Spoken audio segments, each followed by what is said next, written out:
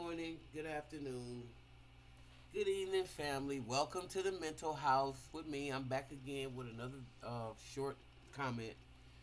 Uh, you know, it's interesting how this society has been dumbed down and how up is down and down is up.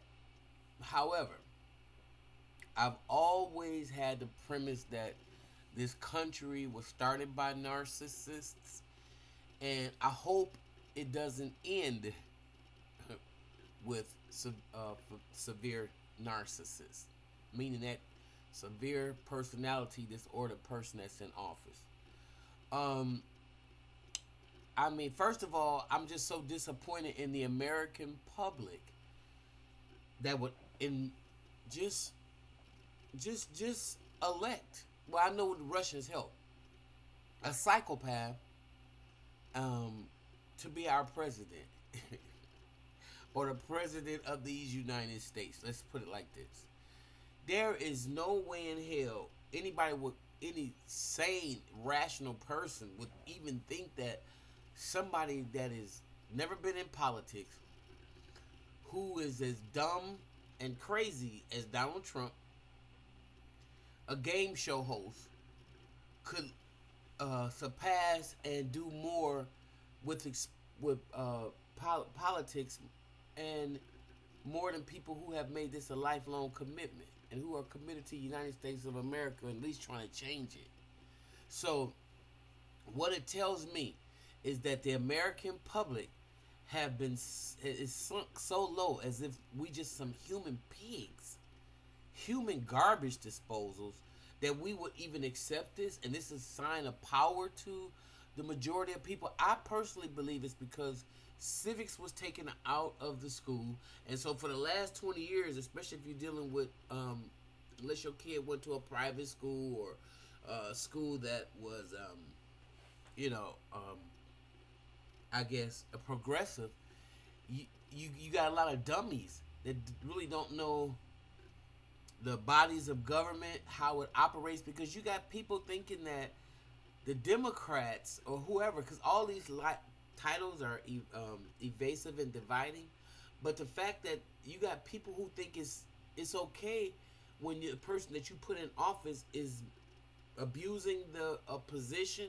abusing the people, going going gung ho and turning rogue, that there's not a process to see and to investigate what this is about. These people are so crazy, they think that that's not even a real phenomenon. And so what they're complaining against is because they don't think that the American public should have the right to even do this. When these things were set up in place, you know, hundreds of years ago. Thanks to our founding fathers, right? Okay. So we got a rogue president who is hypnotized with hatred, as Bootsy Collins, as Bootsy would say. Hypnotized with hatred. He's insane. Uh, he has never spent a day in service at all. He might his daddy might have sent him to some military academy or military school, but he's never had a to go to war like my uncles them that got shot in Vietnam or he's never had to experience war. So he's playing with lives and acting like he's so American when really he ain't shit. Because he, he, none, he's not relating to anybody at all. Except for people who are just bloodthirsty. Now, he's gaslighting America. And when you got a person like this up in office, for those of us who know, um, it's like you walking on eggshells just being around them. So now we got somebody that's running a country that's making people in the country and outside the country feel like they're walking on eggshells because he's so damn crazy you don't know what the hell he's gonna do next. This is not a way to live. And it's got nothing to do with if you bipartisan or if you a pub Republican or a Democrat. Are you crazy or are you not crazy? This is what the question should come down to. Cause you know what? And I'm just gonna tell you how I feel. White people play a lot of games with a lot of words, and they have a lot of word salad to make up craziness to keep you, uh, you know, word semantic down when you can just make it plain, as Malcolm X said. Make it plain. What the hell are you saying? And this is how we feel about it. Now, at this point, I'm really, really, really, I'm really um, disappointed in the American people. I'm disappointed in how, uh, but I, you know what?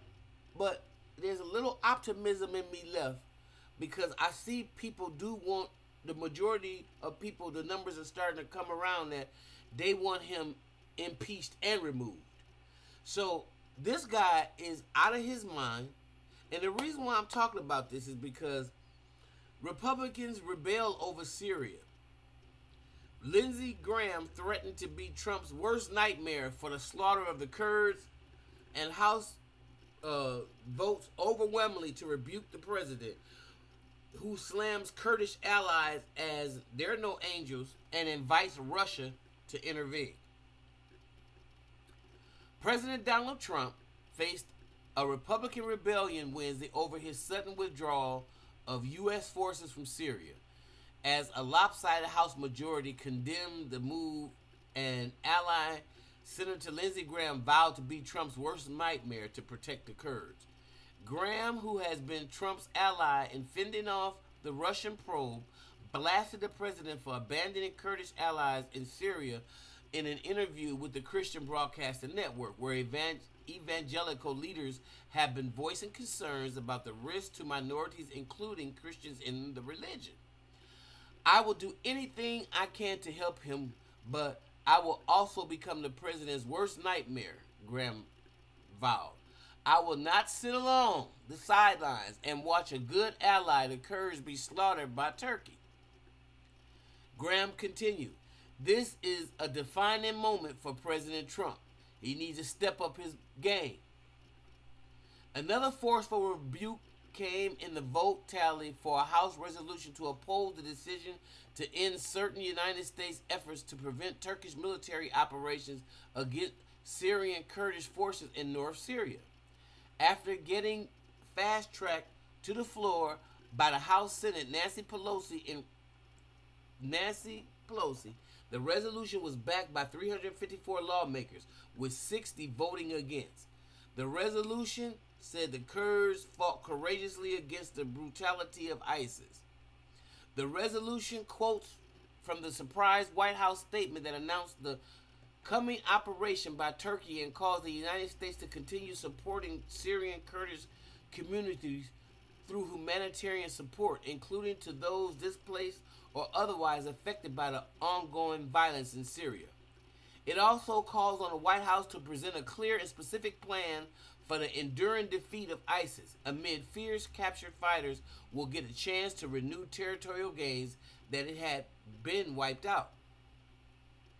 Well, of course, you know Trump don't want nobody telling him what to do, so it's going to be a problem. Among Republicans, 129 vote for it and 60 against. The action came on a day when Trump blasted Graham, a frequent golf partner and ally in fending off the Mueller inquiry.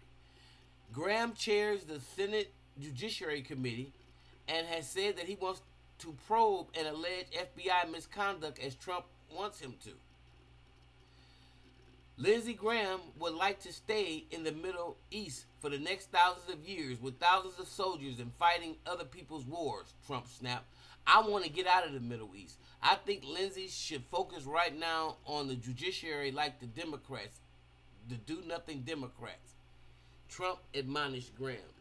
I think Lindsey should focus on the judiciary. He ought to find out about what happened with Comey, what happened with McCabe, Lisa, what happened with Peter Strzok, and what happened with President Obama. What happened? This fucking idiot is obsessed with Obama. What happened with Brennan, Trump said, firing off names of national security and FBI officials from the Obama era, who he blames for the Russian probe. Y'all, we got a damn a crazy, sick narcissist in the White House. Like I said, the narcissist put us here. They created all this division, okay, between black, white, rich, poor, Democrat, Republican.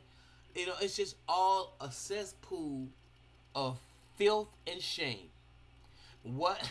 That's what Lindsey ought to focus on. That's what the people of South Carolina want him to stay focused on. The people of South Carolina don't want us to get into a war with Turkey, a NATO member, or with Syria. Let them fight their own wars. They've been fighting for a thousand years. Let them fight their own wars. The people of South Carolina want to see the troops come home. And I won an election based on that. And that's the way it is. Whether it's good or bad, that's the way it is. At a White House press conference Wednesday, Trump welcomed further Russian military intervention in Syria as Moscow teams with Syria dictator Bashar al Assad and U.S. rival Iran to counter Turkey's attack on Kurds in Syrian territory. Um, this is crazy, ain't it? I mean, um, anyway, uh, conflagration, which a conflagration which Trump proclaimed, welcome to it. The president attacked U.S. allied Kurdish fighters as no angels and described them as mercenary force, even as critics from both parties lamented a policy shift as leaving them victim to slaughter at the hands of the Turks. Syria has a relationship with the Kurds, who, by the way, are not angels. Trump told a reporter alongside Italian President Sergio Mattarella, who is an angel. There aren't too many around. I'm surprised he didn't say, but I am. You know, and my, I, I'm, I'm, a, I'm an angel. I'm the head angel. But Syria has a relationship with the Kurds, so they'll come in for their border and they'll fight. Trump said. This is crazy. They may bring partners in. They could bring Russia in. And I say, welcome to it. Trump continued earlier in the day, comparing the area to a lot of sand that they got plenty that various sides can play in. Oh my God. This is your president of the United States of America. So now I'm at the point now, I, you know, really, I've been at the point for a long time. You can just draw the line in the stand. Take all these titles off because I really don't give a damn about them. Either you stand for humanitarian and, and, and human beings, or you a racist pig and you are a demagogue, a narcissist, a person who have been so damaged that you welcome being gaslit, you welcome being lied to, you welcome being deceived because there's nothing really he's doing that's helping anybody besides himself. Nothing. Not doing anything to help the country. He's everything he's doing is to benefit himself.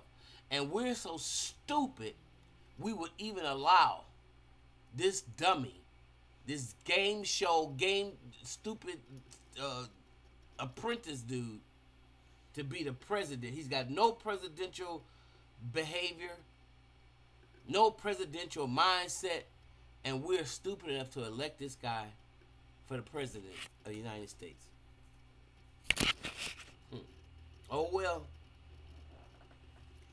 Oh well. Like what you hear? Please like, subscribe, and share.